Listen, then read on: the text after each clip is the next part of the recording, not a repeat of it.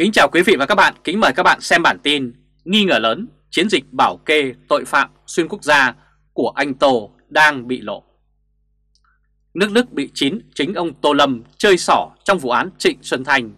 Không làm gì được ông Tô Lâm, phía Đức cho bắt thuộc hạ của ông Tô Lâm đem xử. Sau vụ này, phía Đức cẩn thận hơn với các quan chức của Đảng Cộng sản Việt Nam mỗi khi họ đặt chân tới đây. Họ nhìn quan chức như một tội phạm tiềm ẩn vì thế khi hộ chiếu của Bộ Công an Việt Nam phát hành không có nơi sinh phía Đức dường như lập tức có cớ để phản ứng ngay. Hộ chiếu không có nơi sinh có nghĩa là lai lịch của tội phạm xuyên quốc gia có nguồn gốc từ Việt Nam sẽ dễ dàng ẩn mình tại Đức và có thể các nước khác cũng lại bắt chước làm như vậy. Tiếp theo là Tây Ban Nha, mới đây vụ án cưỡng dâm cô gái người Anh 17 tuổi tại marocca đã làm dậy sóng dư luận trong nước và quốc tế. Đây là một dạng tội phạm, chưa biết là loại tội phạm nào từ Việt Nam sang đây làm hay không. Tuy nhiên, Tây Ban Nha đã tiếp bước Đức đề phòng những tội phạm bất minh lai lịch từ Việt Nam sang đây để hoạt động, gây hỗn loạn đất nước của họ. Đây là hình ảnh ông Tô Lâm. Tiếp theo là Cộng hòa Séc. Đây là quốc gia thứ ba từ chối cấp visa cho các loại hộ chiếu mới của Việt Nam. Và câu hỏi đặt ra là vì sao lại như vậy? Theo một số quan chức an ninh Séc, các băng nhóm tội phạm Việt Nam mới là mafia hoạt động mạnh nhất tại quốc gia này. Nguyên Giám đốc Cục Cảnh sát chống tội phạm có tổ chức Gelacta từ năm 2008 cho đến 2016 khi cơ quan này đã chưa bị giải thể và Giám đốc Trung tâm Bài trừ Ma túy Quốc gia Jakub cùng công nhận rằng các băng nhóm tội phạm nói tiếng Việt mới là đối tượng hàng đầu mà Cộng hòa Séc cần phải quan tâm theo dõi. Họ nói rằng Hoạt động mạnh nhất là các băng đảng nói tiếng Nga và dĩ nhiên là cả Việt Nam và phần nào cả trong cộng đồng Trung Quốc. Ban đầu là nhập khẩu hàng hóa, buôn bán hoàng giả ngoài chợ trời và sau đó chuyển sang ma túy. Ông Robert đã nói với phóng viên Nhật báo Bravo như vậy. Ông Robert cũng lưu ý rằng là các băng nhóm tội phạm Việt Nam thích ứng rất nhanh trong môi trường Cộng hòa Séc và phụ thuộc vào tình hình để họ có thể nhanh chóng chuyển hướng hoạt động từ nhập hàng vải sợi cho tới các canh tác buôn bán cần sa hay hiện nay chuyên về ma túy đá. Đó là những gì đang diễn ra tại Cộng hòa Séc. Nếu tấm hộ chiếu có nơi sinh thì cơ quan chống tội phạm của nước này sẽ khoanh vùng và quyết định cho nhập cảnh hay không. Đặc biệt là tội phạm buôn người thường xuất phát từ những địa phương ở miền Bắc, Việt Nam, nơi có rất nhiều các tỉnh miền Trung đây là hình ảnh Cộng hòa Séc đã từ chối cấp visa cho hội chú mới của Việt Nam. Không biết ông Tô Lâm có ý đồ bao che cho tội phạm hay không. Tuy nhiên, trong mắt các nước như Slovakia, Đức, Cộng hòa Séc thì hành động bắt cóc của ông Tô Lâm đã tổ chức tại Berlin, Cộng hòa Séc và Slovakia không khác gì tội phạm có tổ chức thường hoạt động nhưng lại mang tính chất nhà nước. Việc đưa người trái phép từ quốc gia này đến quốc gia khác thường bị liệt vào tội buôn người. Ông Tô Lâm đã từng làm điều đó nhưng còn nguy hiểm hơn, đó là tội bắt cóc. Cho đến nay các nước châu Âu đang muốn đánh vào những gì ông Tô Lâm làm. Cứ mỗi lần ông Tô Lâm cứng đầu là họ lại tiến thêm một bước mới trong vấn đề cấp visa cho hộ chiếu mới và cứ như thế một nước khác lại công bố không chấp nhận. Ông Tô Lâm chính là quan chức của nhà nước Đảng Cộng sản Việt Nam nhưng trong mắt các quốc gia châu Âu, ông này là một người phạm pháp nên họ không bao giờ nhân nhượng. Hiện nay, ông Tô Lâm đang như ếch ngồi trong nồi. Mỗi lần một quốc gia từ chối hộ chiếu mới là như một mồi lửa nung cho ếch chín dần. Hiện nay, ông Tô Lâm mất ăn mất ngủ vì sự cố trời dại này. Mà dại hơn nữa là hành động bỏ nơi sinh trong hộ chiếu bị các quốc gia châu Âu xem là việc che giấu tung tích cho tội phạm. Thêm vào hành động cứng đầu, không chịu sửa, thì người ta lại càng tin hơn về những mục đích phía sau của ông Bộ trưởng Bộ Công an Việt Nam. Đây là hình ảnh tội phạm người Việt ở Cộng hòa Séc sẽ có lợi nếu nước này chấp nhận hộ chiếu mới không ghi nơi sinh. Hiện nay, các bên cấp cao của châu Âu đang thảo luận để đưa ra giải pháp chung về vấn đề hộ chiếu mới của Việt Nam.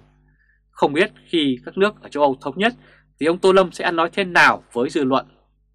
Cố chấp không sớm sửa thì để càng lâu càng mất điểm trước dư luận trong nước và thế giới và có thể dẫn đến việc ông ta bị loại khỏi Ủy viên Bộ Chính trị và mất chân trong tứ trụ thời gian tới.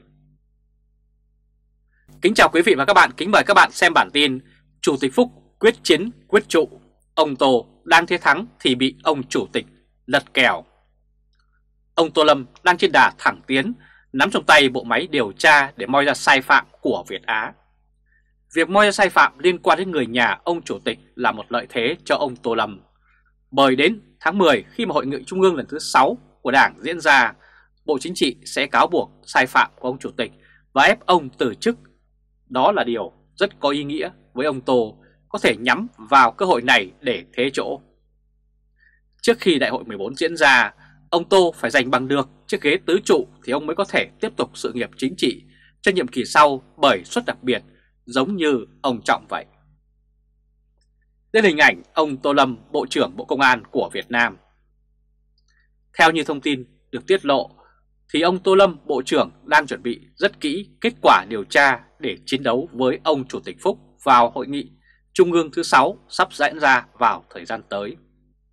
Sau khi bắt Chu Ngọc Anh và Nguyễn thanh Long, phía ông Tô Lâm đã có những đoạn ghi âm cuộc gọi giữa vợ ông Phúc với vợ ông Long và Phan Quốc Việt cùng với những người khác. Con đường chính trị đang diễn ra tốt đẹp, thì đột nhiên ông Tô Lâm lại dại dột để dính vào một vụ án bê bối khác. Lần này cũng là phía Đức khui ra, đó là vụ hộ chiếu mới có bìa xanh màu tím than. Nó ngày một lan rộng tại châu Âu. Vụ này ông Tô Lâm đang bí đường xử lý. Như tờ Thời báo chấm đã đưa tin, ông Tô Lâm nếu thừa nhận hộ chiếu mới là sai sót thì có nghĩa là ông cũng thừa nhận trước Bộ Chính trị là ông đã thiếu trách nhiệm gây hậu quả rất nghiêm trọng.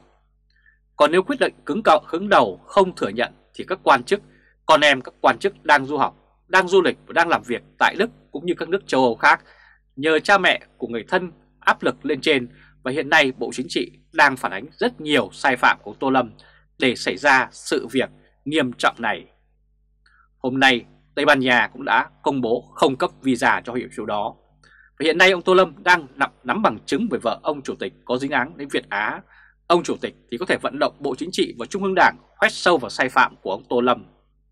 Cả hai đang nắm yếu điểm của nhau và chẳng bên nào dám ra đòn trước bên nào.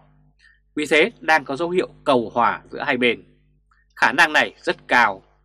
Trong mấy ngày qua, ông Chủ tịch Phúc đang tranh thủ lấy lại vị thế sau nhiều tháng ngày không được tiếp xúc các vị khách quốc tế, thì giờ ông lại được xuất hiện ở phiên họp thứ ba Hội đồng Tư vấn Kinh doanh APEC, viết tắt là ABAC tại Quảng Ninh, với một phong độ tràn đầy tự tin. Trước đó, ông Phúc còn tiếp Tổng Giám đốc điều hành Ngân hàng Thế giới. Đây là hình ảnh vợ ông Chủ tịch Phúc rất may mắn khi ông Tô Lâm bị sảy chân vào vụ hộ chiếu. Nhưng ngày 27 tháng 7 vừa qua, ông đến dự hội nghị Người có công với cách mạng do công an tổ chức. Bộ trưởng Tô Lâm chủ trì. Tại đây, ông Phúc có những bài phát biểu ghi nhớ công ơn các chiến sĩ công an, mang hàm ý nhắn gửi ông là người luôn biết ơn và nghĩ đến các chiến sĩ công an. Tiếp đó, ông Phúc cùng Tô Lâm dự câu truyền hình khúc tráng ca hòa bình có mặt các nguyên lãnh đạo đảng, nhà nước. Việc ông Chủ tịch và ông Bộ trưởng đứng cùng nhau như thế, người ta đánh giá hết 90% là hai ông này đang cố bắt tay để cầu hòa. Sự ngừng lại của Bộ Công an, việc ông Phúc đón tiếp khách quốc tế và việc ông dự hội nghị công an là một dấu hiệu tạm đình chiến.